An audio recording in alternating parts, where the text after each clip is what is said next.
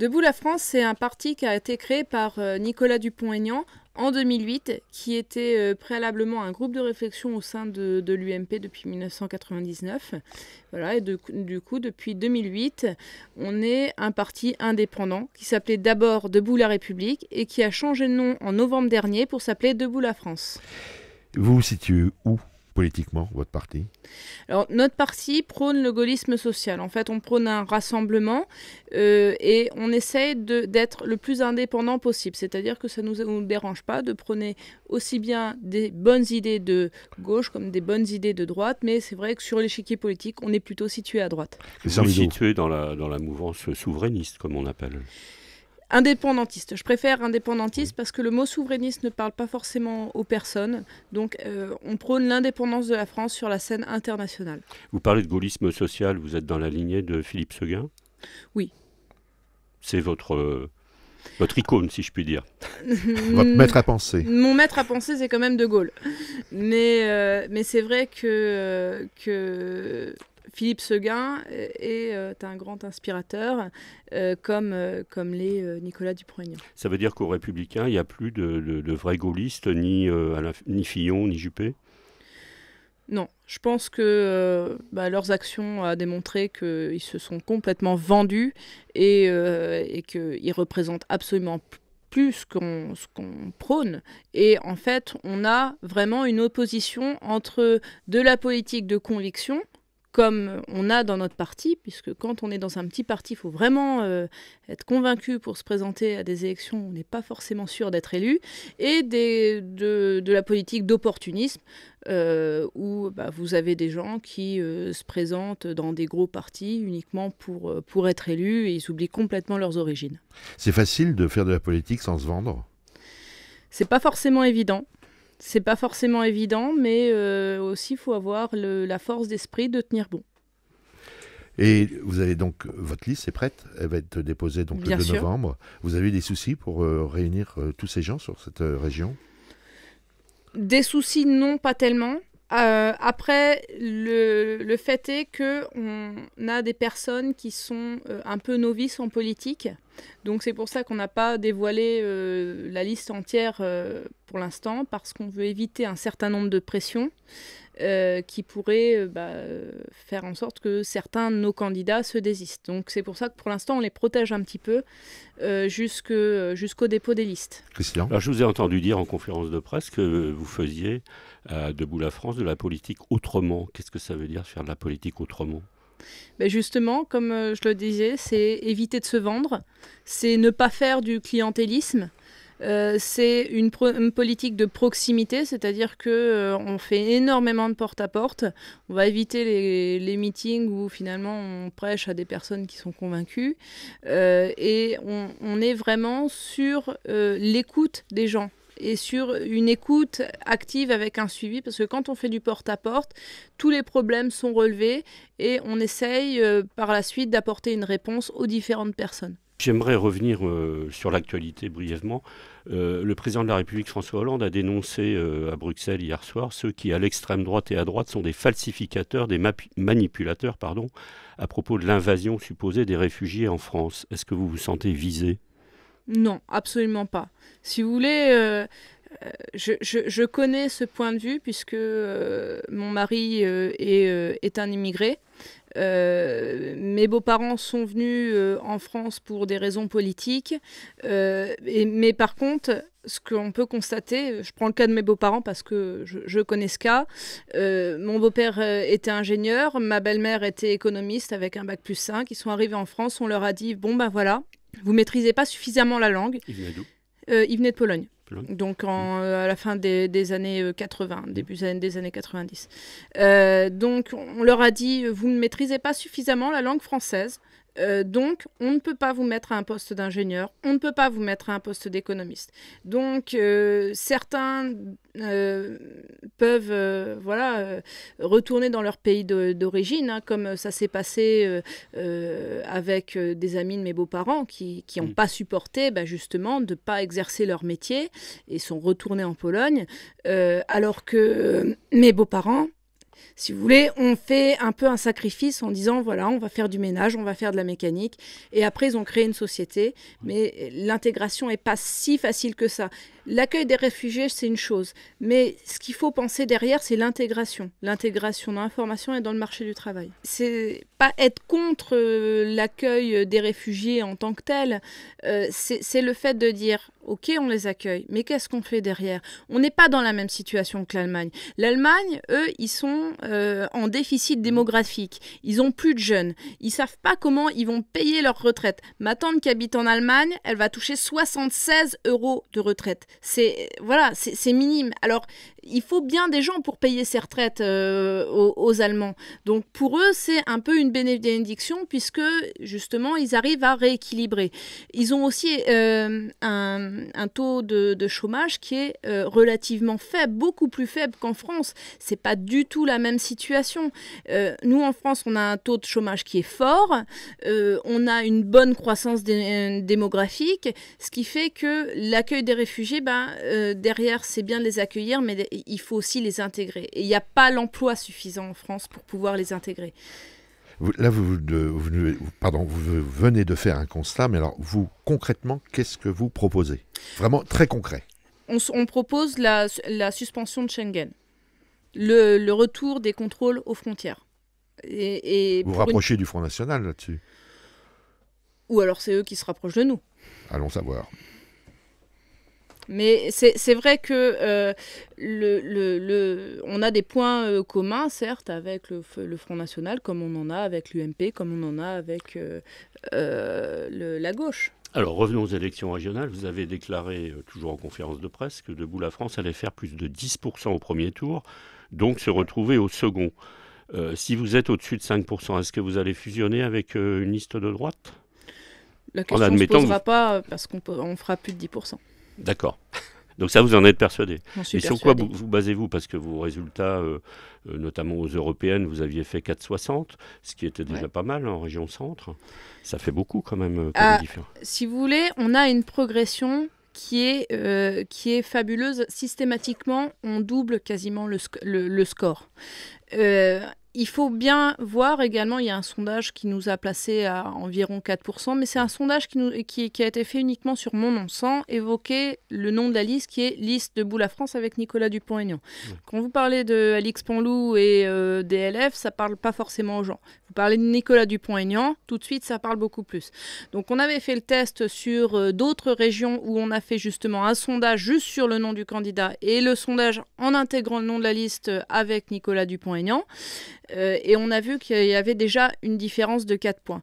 En plus de ça, pour des raisons mathématiques, on a sur euh, l'échantillon, c'était 700 personnes, on a une marge d'erreur qui est plus ou moins 4%. Donc, on peut facilement arriver aux, 10%. Quels sont vos, électeurs, vos, nouveaux électeurs, vos nouveaux militants d'ailleurs également? Vous dites vous-même que ce sont maintenant des gens de gauche, pour dire les choses.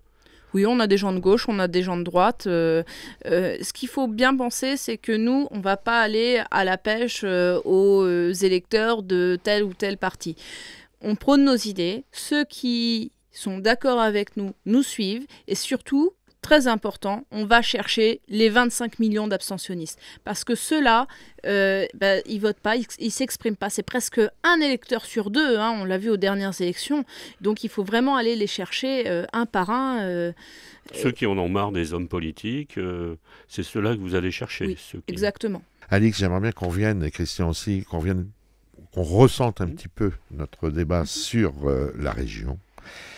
Pour le transport régional, qu'est-ce que vous, vous nous proposez Si vous proposez. Alors, déjà pour le transport, euh, pour le transport régional, je propose déjà de faire.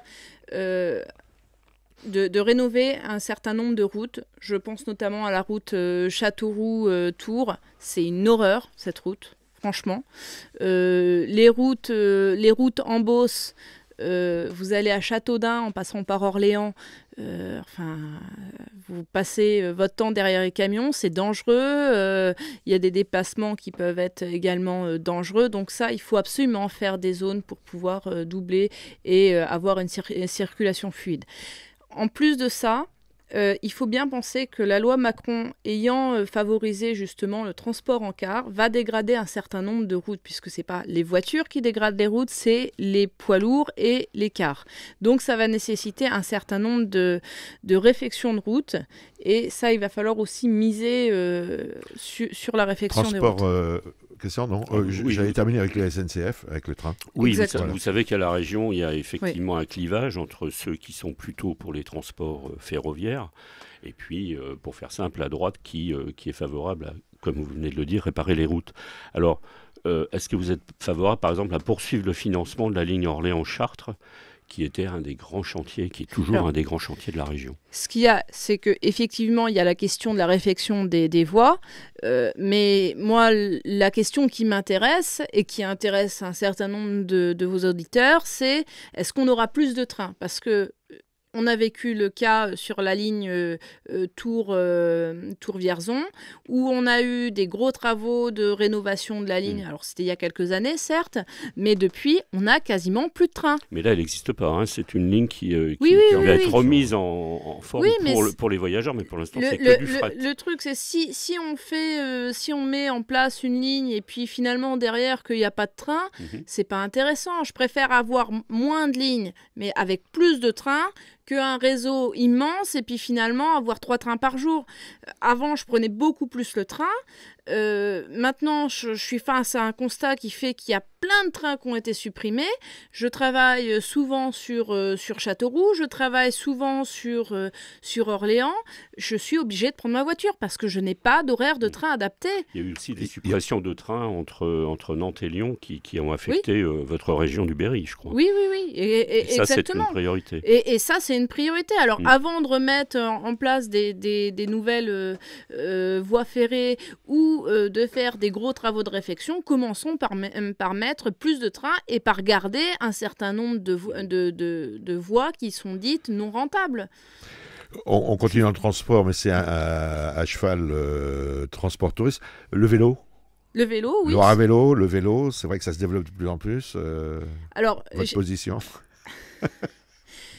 Euh, ce qu'il y a, c'est qu'il faut le faire aussi en accord avec, euh, avec euh, les acteurs locaux. Je, prends l'exemple de la Loire à vélo. Vous avez beau faire passer 50 000 cyclistes devant certains restaurants, les restaurants continuent à ne pas ouvrir dimanche, par exemple. Donc, c'est bien d'amener le vélo, mais derrière, si vous n'avez pas les commerçants, euh, les restaurateurs qui jouent le jeu pour ouvrir au moment où il y, a, euh, y a un passage euh, de, de, vélo plus important, par exemple le week-end, ben, voilà, c'est un peu dommage. Donc c'est quelque chose à faire en concertation. Christian Oui, alors pour rester sur le tourisme et prendre un peu de la hauteur, les aéroports, ça c'est un, un sujet de conflit entre la droite et la gauche. Donc la, droite reproche à la gauche de refuser des financements, notamment à l'aéroport de Tours, parce que les écologistes ne veulent pas entendre parler du transport euh, de passagers. quelle est votre position là-dessus? Moi, je suis pour le transport euh, euh, aérien, notamment le développement de l'aéroport de Châteauroux. Mhm. Euh, là, il me semble qu'il y a des nouvelles lignes qui vont s'ouvrir euh, via euh, Châteauroux vers Lyon, Londres. Ajaccio, c'est déjà, c'est déjà effectif. Et Nice, je crois aussi. Nice également. Ça fait l'objet d'un débat hier à, à l'Assemblée régionale. Oui. Et, mais voilà, si, si, on veut pouvoir s'en sortir, il faut aussi euh, justement ouvrir ce transport-là. Pourquoi les gens ils vont prendre l'avion à Tours ou à Châteauroux? Moi, je le fais hein, quand, quand j'ai besoin de prendre l'avion. Je préfère prendre mon avion euh, à Tours ou à Châteauroux parce que euh, c'est plus proche. Donc, c'est-à-dire que vous faites déjà moins de trajets en voiture. Donc, sur le point de vue écologique, c'est mieux. et en plus de ça, bah, vous avez plus facilement accès euh, à, un parking ou, euh, euh, ou à, des lignes de bus pour arriver à votre avion et vous n'êtes pas obligé de partir une demi-journée mhm. en avance pour mhm. prendre votre avion. Mhm. L'éducation, donc. c'est ce que j'ai. on va passer à l'éducation. Alors, ben, l'éducation, ça peut aussi se, rejoindre un petit peu euh, Châteauroux, l'aéroport euh, mm. donc de Châteauroux, puisqu'il y a pas mal d'entreprises qui se, qui se mettent en place euh, au niveau de l'avionique. Et ce matin, j'écoutais donc sur RCF un très beau papier disant qu'il manque beaucoup de main-d'œuvre, tourneurs, fraiseurs, métiers manuels, entre autres dans l'avionique. Alors qu'est-ce que vous, vous comptez développer pas spécifiquement que dans l'avionique, mais qu'est-ce que vous pensez développer au niveau de la formation? Déjà, il faut créer un pôle, véritablement un pôle aéronautique à Châteauroux. Pourquoi à Châteauroux? Parce qu'on bénéficie de la piste euh, qui a été laissée par, euh, par euh, les Américains, où on peut faire de la maintenance aéro sans passer par Paris ou Toulouse, ce qui, ce qui revient moins cher aux compagnies. et en plus de ça, ça redynamise le bassin de, de l'emploi.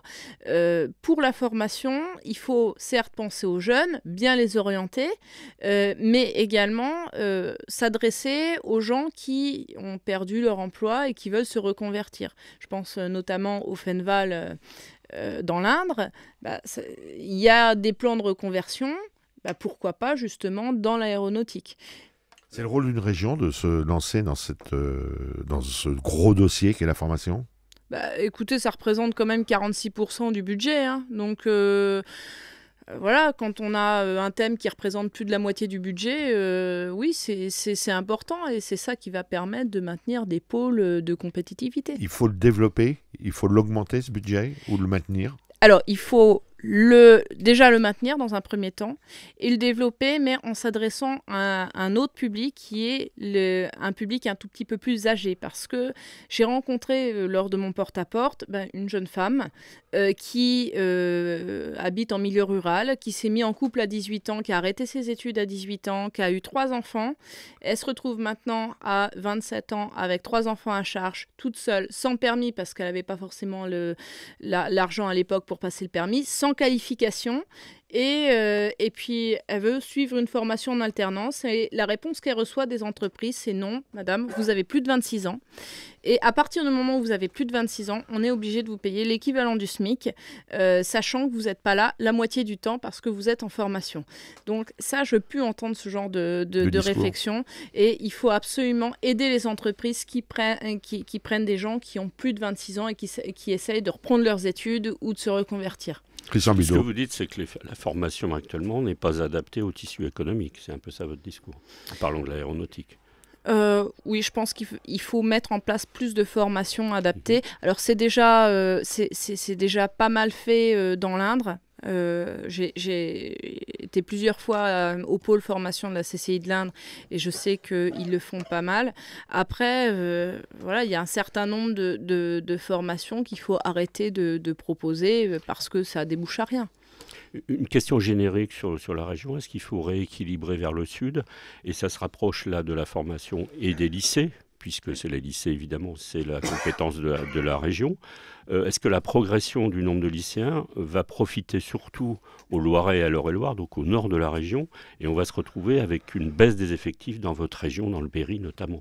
Alors, c'est un petit peu le cas. Après, le constat que je fais, c'est que euh, on a un certain nombre de, gens qui sont envoyés euh, dans des lycées professionnels et, on leur dit il faut que vous ayez votre bac, il faut que vous ayez votre bac les gamins, ils savent pas pourquoi ils sont là, euh, ils ne savent pas vraiment ce qu'ils veulent faire derrière, et finalement, on leur paye une formation alors que derrière, euh, bah, ils l'utiliseront peut-être pas. Est-ce que vous êtes favorable au plan euh, de rénovation et d'efficacité énergétique dans les lycées, qui 15 millions y sont consacrés? Je préfère investir 15 millions dans les lycées plutôt que 15 millions dans le nouveau bâtiment de la FRAC du frac. Le souci avec le frac, c'est que ça, ça réserve, c'est réservé à une petite élite. Euh, et ça coûte quand même un certain nombre de millions d'euros. Hein. Je crois que c'était 13 millions pour le bâtiment et après je crois que c'est 2 millions d'euros qui est mmh. consacré à l'investissement annuel. Mmh.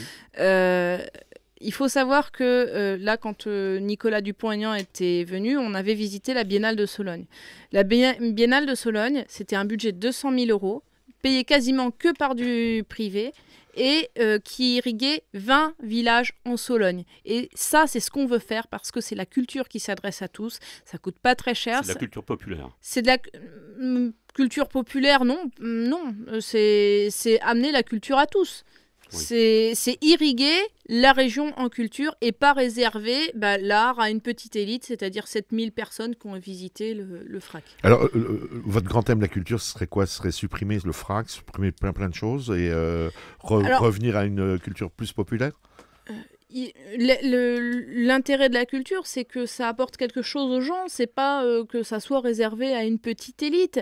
Euh, le FRAC, euh, bon, le bâtiment, il est là, on va pas le détruire, mais par contre, ce qui serait bien, c'est qu'il y ait un certain nombre d'investissements privés dans le FRAC qui permettent, on va dire, d'avoir un, intérêt euh, plus général. Euh, et puis, il faut arrêter un certain nombre de, projets. Je pense notamment à la nouvelle maison de la culture euh, à Bourges, où c'est enfin, c'est une catastrophe. Justement, pour parler de Bourges, puisque vous êtes berrichonne, le printemps de Bourges, d'après ce que je comprends, il, a un petit peu, il, va, il risque d'échapper à la région. Est-ce que ça vous soucie, ça? Non, il n'échappera pas à la région. Non, vous pensez qu'il va rester à Bourges Oui. Même si aujourd'hui l'opérateur n'est plus à Bourges puisqu'il est en, Bretagne. Oui, mais euh, le printemps de Bourges, euh, vous voulez faire quoi Le printemps de Bourges à Paris? Ça ça, ça, ça, pas, ça pas de sens. On voit bien le Paris-Dakar qui se passe en, Effectivement, Brésil. Hein. Effectivement. Mais le, le, printemps de Bourges, il faut bien prendre conscience qu'il y a des, des personnes euh, qui travaillent toute l'année pour que ça soit une réussite. Mm. Euh, après, peut-être que ça serait mieux de le faire en concertation avec les habitants. Parce que souvent, ce que, ce que j'entends lors du printemps de Bourges, à la paire des, des Berruyers, c'est oui, ben, on nous impose ça, euh, ben, nous, on s'en va. Voilà. Donc, le Conseil régional doit continuer à subventionner bien le printemps de Bourges. Ah, bien sûr. Et pas mettre son nez dans les programmes comme ça, comme ça a été fait une année. vous vous souvenez de cette polémique? Oui, oui, oui. Après, euh, je pense que effectivement il y a des professionnels qui sont là. Il y a euh, de, des programmes de musique qui ne plaisent pas à tous, mais c'est comme ça, c'est la diversité. Il faut pas non plus essayer de faire de la manipulation euh, pour essayer de faire un, aimer un type de musique plutôt qu'un autre. Christian, il nous reste euh, trois minutes. Alors on change de chapitre, on parle d'économie en voilà. très peu de temps. toujours hier au Conseil régional, le Conseil régional a voté une aide de 5 milliards, de 5 millions pardon aux agriculteurs, excusez-moi. Euh, en plus de l'aide nationale. Qu'est-ce que vous auriez fait? Tout le monde a voté, ça a été voté à l'unanimité. Vous auriez voté aussi? J'aurais voté aussi avec, euh, on va dire, euh, voilà, une petite euh, déception parce que euh, pour moi c'est pas la solution. On va pas euh, nourrir les agriculteurs de subventions. Ce qu'il faut c'est leur donner des justes prix. Et ça, ça, ça va commencer par alimenter les cantines et les, les, établissements hospitaliers en produits en produits locaux euh, payés peut-être un petit peu plus fort que dans le reste euh, du, marché public. Ce serait une compensation des subventions en fin de compte, c'est ça? Oui, c'est ça. Bah, en fait, le problème, c'est que la subvention, ça paye pas le travail. Alors que si on vous dit, voilà, le litre de lait, on va le payer tant, et euh, ça vous permettra de vivre, c'est mieux parce que psychologiquement, on dit, c'est mon travail qui est récompensé et je ne vis pas à la charge de l'État. Alors, la, compétence économique devient essentiellement celle de la région et des, intercommunalités. Qu'est-ce qu'il faut faire maintenant en matière économique? Il faut aider les entreprises par des aides directes puisque les départements ne peuvent plus le faire. ça, et notamment également le financement participatif. Moi, ce que je propose, c'est mettre en place une plateforme de financement participatif qui soit garantie par euh, la région et pour laquelle, bah, si jamais, mettons, une entreprise réussit à euh, lever, euh, je ne sais pas, 50 000 euros, la région participe proportionnellement au fonds levé. Alix Pantelou, merci.